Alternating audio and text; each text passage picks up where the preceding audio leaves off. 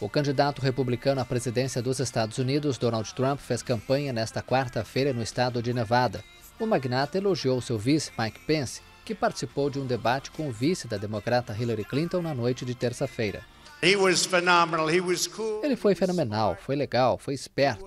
Era só dar uma olhada. Ele foi destinado a fazer o que está fazendo e estamos muito, muito orgulhosos do governador Mike Pence. O próximo debate é entre Hillary e Trump.